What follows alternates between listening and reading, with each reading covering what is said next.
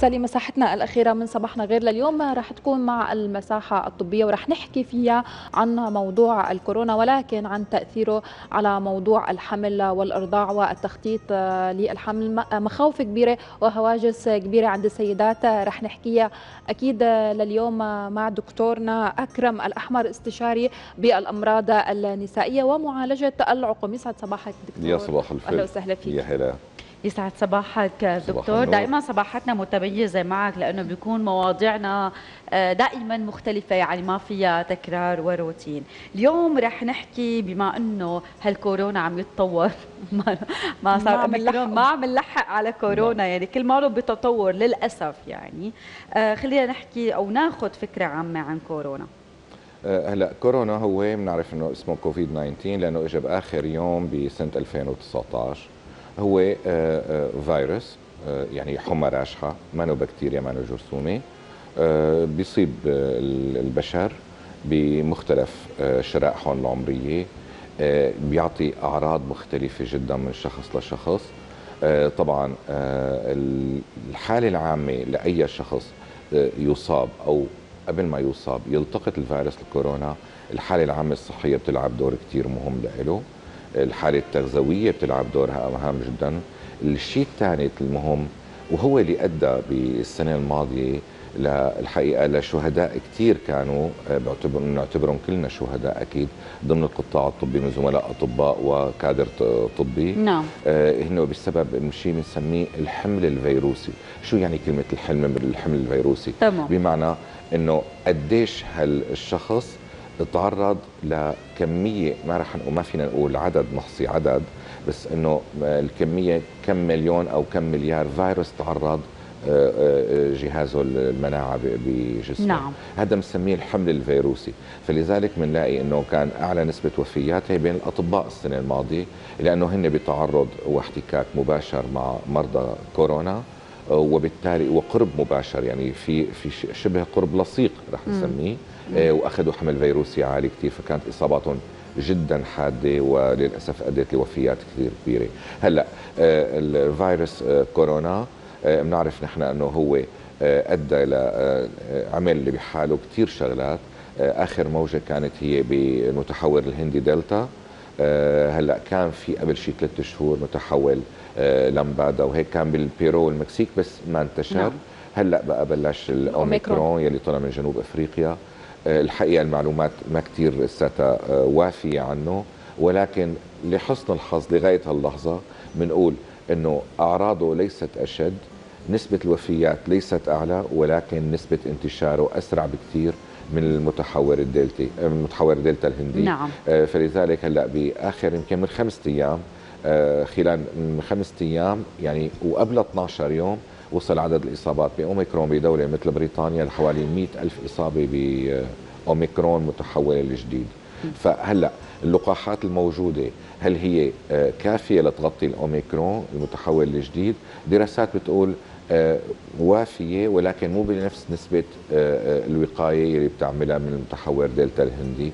وإذا في أبحاث جديدة بدنا نص آذار لحتى يطلع لقاحات جديدة تغطي نعم. الأوميكرون مثل ما طلعت لقاحات الغطت الدلتا.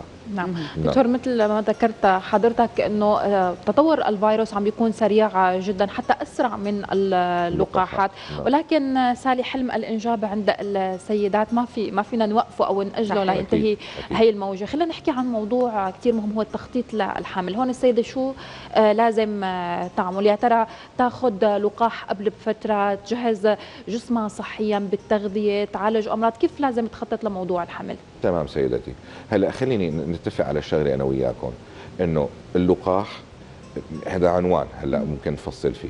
اللقاح ما له علاقة لا بالحمل ولا بالأرضاع ولا بطريقة الولادة ولا ولا بالتخطيط للحمل. تنصح تنصح فيه. تماما بس رح أحكي بقى بمجموعة آه، يعني تفاصيل صغيرة. هلأ رح نفترض في قدامنا صبية هلأ هي آه، خاطبة أو بدها تخطب وبدها تتزوج بعد خلينا نقول ست شهور.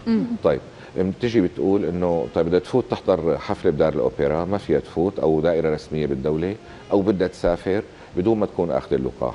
قلت لك طيب إنه إذا أخذت أنا اللقاح هلأ من هون للسنة. إذا تزوجت بعد شهرين ثلاثة ست شهور من هون للسنة. أنا ممنوعه عن الحمل؟ لأ من إلا مانك ممنوعة. ان أخذتي اللقاح اليوم بعد شهر مانك ممنوعة الحمل. حلو كثير عيشي حلمك مثل ما ذكرتي نرمين إنه حلم. عيشي حلمك وحققيه بهالمعنى. انت بأمان. أي نقطة؟ فلذلك بنقول إنه من ناحية التخطيط للحمل لا بالتخطيط للحمل ولا التخطيط للزواج له علاقة اللقاح تبع كورونا. هلأ لسبب بسيط وهذا ينطبق على إن المبدأ البسيط اللي حكيناه لا نعم. حمل لا إرضاع ولا تخطيط ولا طريقة ولادة. السبب البسيط إنه آه، أبحاث على الحامل والجنين أو اللي بدها تخطط للحمل أو يلي عندها حمل بأشهر ثلاثة الأولى أو الأشهر الأخيرة بلا بلا بلا هلأ بتمرق معنا. يلي ابحاث أجريت على الحوامل. أجريت على الحوامل. ما في. لأنه من الأصول أخلاقيات المهنة إنه أبحاث تجرى على الحامل. لو اخذت موافقة الحامل على إنه يصير في بحث عليها بس انت ما اخذت موافقة الجنين يلي هو كائن حي. فلذلك ما بتصير الأبحاث. هي من جهة. من جهة ثانية سيدتي إنه نحن بنقول التالي إنه بالطرائق اللي بنعرفها لطريقة تصنيع اللقاحات يلي هو ما في لقاح بيعطي فيروس كامل؟ يعني صحيح. يلي إنه يؤدي ممكن نعطي البقايا أو لا ممكن. نعطي جزء منه يلي هو أي. مسؤول عن تحريض الجهاز المناعة على إنه يعمل ردة فعل أولية ويكون جاهز وقتها. إذا رد دخل الفيروس مرة ثانية شيء اسمه ال memory cells الخلايا الذاكرة يلي إنه هي جاهزة ولا تطلع لها الفيروس لما يدخل ثاني مرة. مم. فإنه يا بيكون آه، فيروس مضاعف ما بيسبب مرض. يا جزء من الفيروس. لا يسبب مرض أو عن طريق أخرى ال RNA كمان لا يسبب مرض ولكن كلهم يؤدوا إلى رد الفعل المناعي يلي هو يحمي جسم البشر من الإصابة اللاحقة إذا بدها تصير. فلذلك من هذا العنوان إنه كيفية طريقة تصنيع اللقاحات فهي آمنة على الحامل وآمنة على اللي بدها تبرمج حملها أو زواجها وآمنة للي عم تقوم بعملية الأرضاع. فلذلك جدا الموضوع بسيط. وهلأ أعطي مثال عليه. يعني مثال أنا عشته إنه بالرغم من هذا الكلام اللي أنا عم أقوله إنه مثلا زوجتي رفضت تأخذ اللقاح أثناء الحمل. أه. okay؟ إنه لأ أنا حامل. بس طيب شو اتخذنا إجراءات وقتها؟ وخاصة إنه during يعني بخلال فترة الأشهر الحمل الثلاثة الأولى 12 أه. أسبوع يلي هي مرحلة تشكل أعضاء الجنين اللي نعم. هي أهم مرحلة أساسية إنه وقتها منقول للحامل ما بدك تاخذي اللقاح عندك مخاوف okay فينا نتفهمها ما رح نغصبها بس أخذته ولا ما أخذته اخر شيء؟ لا هلأ بس هلأ صارت يعني بفترة الارضاع رح تأخذه. خلص إيه تمام. آه بقى بنقلها نحن للحامل بهالحالة إنه على الأقل بأشهر الحمل الثلاثة الأولى إنه أنت آه، آه، هدي على حالك خففي الاختلاط آه، خذي الإجراءات الوقائية الاحترازية المتعارف عليها عالميا مشان ما تلقطي هذا الفيروس. أوكي؟ طيب هلا أنا بدي أقول شغلة بمفهوم آخر. يعني نجي للموضوع من من باب ثاني طيب هلا أنا بدي أقول إنه في عنا حامل. هلا عنا حامل سواء بالأشهر الثلاثة الأولى أو المتوسطة أو الأخيرة. أوكي؟ طيب هلا هي الحامل أي أسهل لها أو أي أفضل لها ولحملها للجنين اللي ببطنها. تلقط عدوى وبعدين إن شاء الله طبعا بتطيب. تلقط عدوى بكورونا. تمام وبعدين جسمها يتمنع بعد الإصابة يعني بعد العدوى الحقيقية ولا تاخذ اللقاح يلي مثل ما قلنا طريقة تصنيع نعم. آمنة لها نعم. أي أفضل؟ أكيد تاخذ اللقاح. ما هيك سالي؟ تماما. دكتور بس سؤال يمكن آه، جدا مهم. تفضل. آه، هل تؤثر إصابة المرأة الحامل على الجنين؟ يعني هل ممكن تنقل له الفيروس يعني هذا موضوع كثير مهم. تماما سيدتي. رح نحكي الشيء التالي. نحن قلنا إنه الكورونا هو عبارة عن إصابة فيروسية. مزبوط؟ م. فيروس حمى راشحة. طيب نحن الحامل في كثير آه، حمات راشحة مثل الجريب. أو السايتوميجالي فيروس أو يعني الحمى المضخمة للخلايا بلا بلا بلا يلي ممكن تصيب الحامل. نعم. طيب في منا يؤثر على الجنين وفي منا لا يؤثر. فيروس الكورونا لحسن الحظ ما بيأثر على الجنين إلا بحالة وحدة. شو هي؟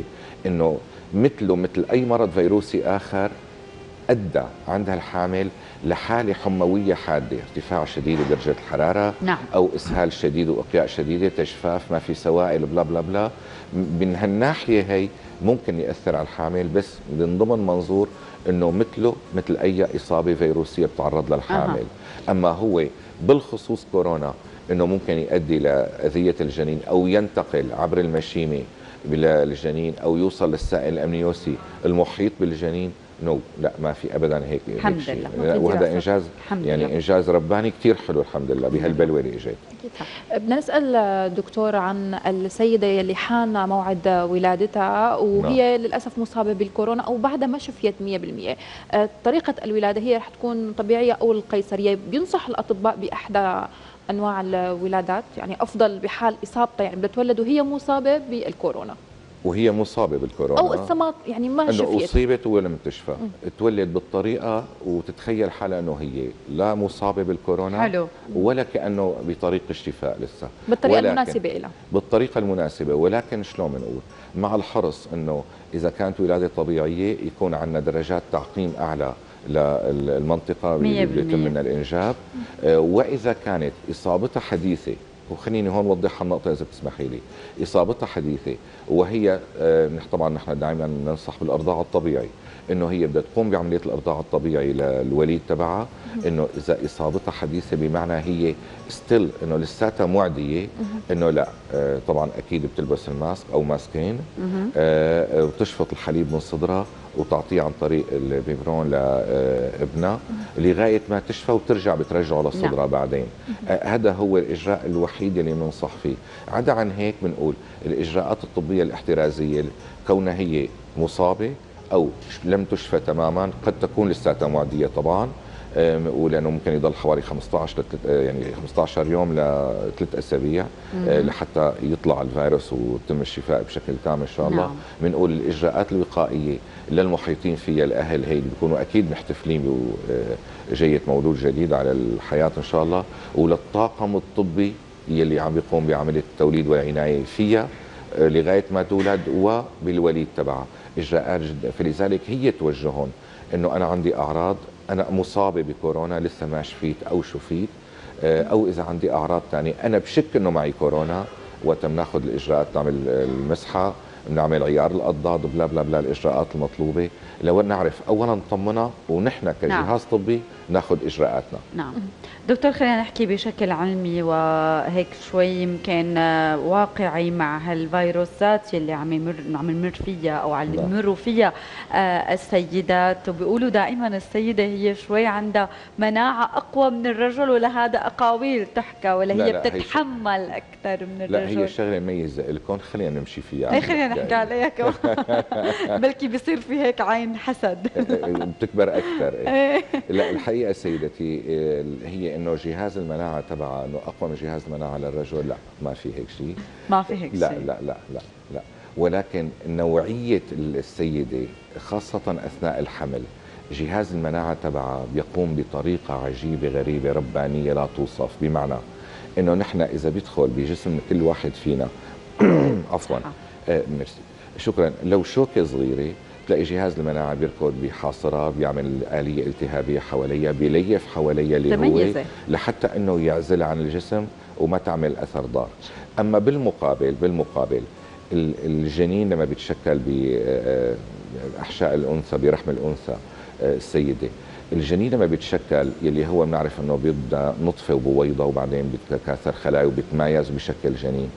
جهاز المناعة بيقوم بعملية تعديل مناعي. طبعا نحن يمكن بتهيألي ما بنعرف عنها نقطة من بحر هالآلية هاي إنه كيف يقبل هالجسم الغريب ومو بس يقبله يدافع عنه ويحميه من حاله من جهاز المناعة ويدافع عنه من القصص الثانية اللي بتجي من برا. بطريقة عجيبة غريبة. فلذلك بنقول هي النقطة إنه جهاز المناعة مميز جدا عند الأنثى. بس من ناحية الكورونا لا. جهاز المناعة من ناحية الكورونا ما مثل تركت حدا. مثل مثل الرجل. لا هو بلاء أعظم ما ترك حدا. فلذلك نحن بنقول إنه السيدات اللي عندهم آه، هن من فئات التعرض الأعلى. يعني آه، الاحتكاك أعلى مع مرضى الكورونا أو بأماكن اكتظاظ آه، بالمكان بالوظيفة أو شيء من هدول إنه كثير في عندهم احتكاك من إلا إن كنتي حامل وخايفة. مرقيه بس أول 12 أسبوع وبعدين خذي اللقاح وانت حامل نعم. بالنص بالثلث الثاني والثالث. إن كنت مرضع خذيه فورا. إن كنت عم تبرمجي لموضوع آه، إنه تتزوجي وهيك بالرغم من إنه انه ما له علاقة بس بنقول لها خذيه فورا لنحميها كونها من فئات التعرض الأعلى. مو لأنه خايفين علي أكثر من الرجل أو إنه جهاز المناعة تبعها أقوى من الرجل نعم. لذلك بنقول لهم خذوا اللقاح بأمان لا تخافوا أكيد. لا نعم. تخافوا ورح أقول بس هيك معلومة بسيطة في معي وقت إيه في معي طبعا وقت. طبعا طيب رح أقول بس معلومة بسيطة بالنسبة للقاح بشكل عام للكل هلأ للكل إنه بعد دراسة بأمريكا وهنيك دراسات دقيقة نوعا ما أو.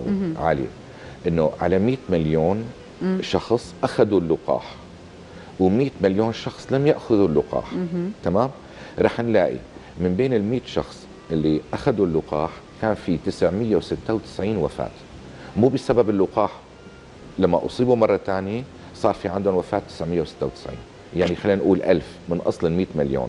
بالمقابل من ال 100 مليون يلي لم يأخذوا اللقاح كان عندنا الوفيات حوالي مليون و800 أها.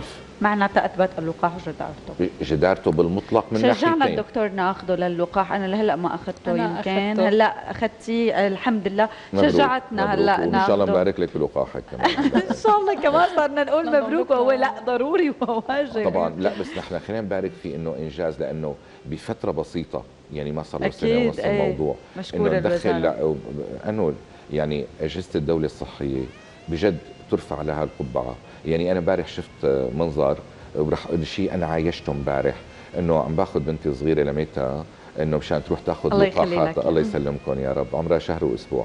تاخذ لقاحاتها كطفلة هلأ بمركز بسبع نيسان ب- بالصحي. لقيت الإقبال والازدحام وهذا الساعة الحكي الساعة 11 ونص الظهر. أها. الازدحام على لقاح كورونا لا يوصف. والله العظيم إنه حسيت بفرحة غامرة. بتذكر أنا وياكم بحلقه من شي أربع شهور لسه باول الصيف أو نص. الصيف كنا عم ندعي العالم عم نحكي ونقنع العالم باللقاح ياخذوا اللقاح كانت نسبة تقبل أو اللي أخذوا اللقاح بسوريا بتطلع حوالي 1.8% 2% تقريبا خلينا نقول 2% هلأ النسبة أنا برأيي تكاد. آه، تلامس ال 40% الحمد لله وهذا إنه خلال فترة تمام. تم تقبل الموضوع وعم ناخده. نعم. يا ريت نوصل على الأقل لنسبة 70 75% فسالي يا ريت تاخذي اللقاح فورا. فورا. أي فورا. بس لطيفة من القريب. ما رح يأثر. خديه فورا. هي على الهواء عم أقول لك أي خلص. خديه فورا. طبتي وما طبتي من القريب خديه. إذا ما في حرارة عالية. نصيحة دكتور أكيد. okay. دكتور بدنا نسأل معناتها كونه عم نحكي عن اللقاح هيك سريعا. آه، تجديد اللقاح صحيح كل ست شهور أو سنة لازم الواحد يرجع ياخده؟ حلو سؤال كثير رح أحكي كلام كثير دقيق. هلا نحن كأطباء نحن من أوائل الدفعات اللي أخذت اللقاح okay. هلا صار عم ينحكى بالجرعة الثالثة المعززة تمام هلا نحن أنا من واحد من الناس اللي عم أقول إنه مجرد ما اجى أمر من المؤسسات الصحية الرائعة ببلدنا الرائعة الرائعة يلي بالرغم من الدمار المهول اللي حل فيها بسبب الحرب القذره على نعم. سوريا إنه مجرد ما اجى توصية أو أمر إنه ناخذ الجرعة الثالثة المعززة أنا رح كون من أوائل الناس رح آخذ الجرعة الثالثة نعم. مو بس هيك إنه في بعض الدراسات باوروبا عم بتقول ياخذوه إيه طبعا. آه، في بعض الدراسات عم بتقول إنه ممكن بسنة 2023 بأولها يتحول الكورونا كلياته لمرض موسمي مثل الفلو الإنفلونزا ويصير وقتها لقاحه سنوي. تماما. فحتى إذا هيك صار رح ناخده كلياتنا. أنا نعم. برأيي هذا إنجاز حلو. خلينا نلقطه إيه؟ لأنه ما تتخيل الدمار اللي عم يصير بالمجتمعات تماما. وبالقطاع الصحي آه، بالإصابة نتيجة الإصابة بكورونا. إن شاء الله يا رب دكتور آه، هيك آه، الشفاء العاجل لكل المرضى. إن شاء. الله ما حدا بيصيبه ضرر. مثل ما بيقولوا يمكن الإنسان شوي هيك إذا آه، كان عنده قدر من الوعي ممكن يتجاوز كثير قصص وبيقولوا وإشاعات الوقاية خير من قنطرة. وإشاعات ومخاوف. وأرجوكم ما حدا يتابع النت. صحيح. ما حدا صحيح. يقرأ عن الإنترنت صحيح. نهائيا لأنه سمعنا يسبب عقم ونقص بالاخصاب اللقاح. شائعات. يعني هي تتوار يعني تجي لنا وبننسقلها بعياداتنا للأسف يا ريت ما. حدا ما حدا يتجاوب معنا نعم بدنا نشكرك كثير لوجودك معنا الدكتور. أكرم الأحمر استشاري بالأمراض النسائية ومعالجة العقم شكرا كثير يسعد صباحك شكرا لك. دكتور واهلا وسهلا نورت صباحنا